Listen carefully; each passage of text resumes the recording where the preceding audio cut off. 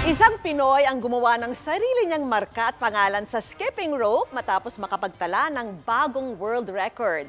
Hindi raw biro ang kanyang pinagdaanan para magawa ito, pero dahil sa suporta ng mga mahal sa buhay, tagumpay niyang natapos ang challenge. Yan ang tinutukan ni Oscar Oiga. 40,918 na skips o lukso sa loob ng labindalawang oras. Ganyan kadami ang ginawa ng Pinoy skipman na si Ryan Alonzo para makapagtala ng bagong world mark kamakailan sa skipping rope.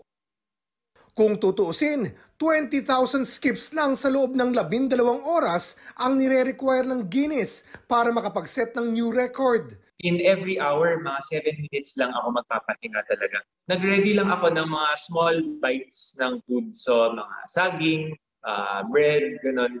Pero sa halip na mag-slow down, lalo pa raw ginanahan si Ryan. If we get a higher number kasi, kung nilakihan natin yung number, um, mas maganda and actually, mas mahirap siya ma-beat din next time.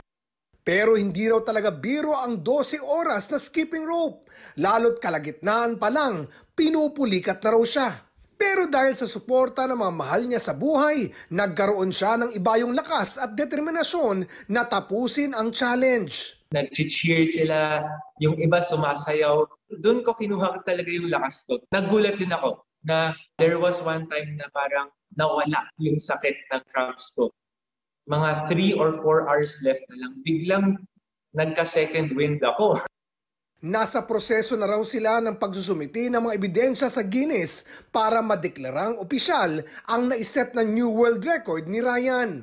Pero ngayon pa lang, masaya na raw si Ryan na maging patunay na sa mundong ito, walang imposible kung buo ang ating determinasyon at tiwala sa sarili. As long as you put your mind into something, um, kaya mo siya i-achieve. Oscar Oida, nakatutok, 24 oras.